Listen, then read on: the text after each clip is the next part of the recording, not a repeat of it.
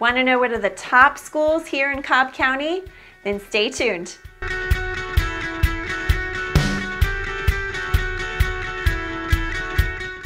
Hi and welcome back to my channel. I am Jennifer Re with Jennifer Re Homes and Keller Williams. If this is your first time to my channel, please make sure to like, comment, and make sure to subscribe below so that you can stay up to date on everything real estate. Cobb County is not only known for its lower property taxes, but it's also known for its great schools. And we have a lot of them. In fact, many of them have even received the National Blue Ribbon Award. And now every school is different, right? Just like every kid is different. So what one top school might be for one family might be completely different for another family. And what fits your child. So while I can't give you what the top schools are here in Cobb County, I can give you the resources so that you could research it yourself.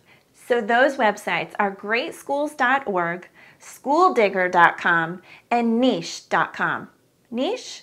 Niche. Niche. It's niche. I am putting a link below in the description so that you have easy access to these sites.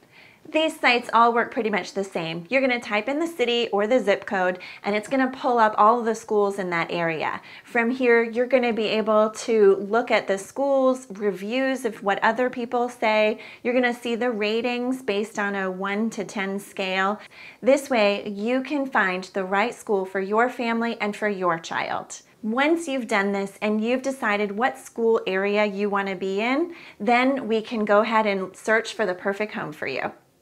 I am also going to put a link below in the description, a, a chart which has all of the schools listed and it'll say what elementary school feeds into what middle school and what middle schools feed into what high schools. This way it'll give you a good idea of say you like one particular elementary school but it doesn't go to the high school that you like. So this will give you a great detailed information on that as well. That's going to be again in the link below.